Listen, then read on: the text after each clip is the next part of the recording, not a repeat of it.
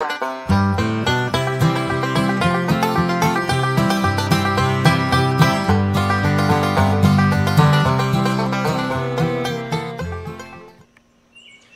today I got my Dolmar 5105 chainsaw. I was going to show you a little bit uh, how it cuts.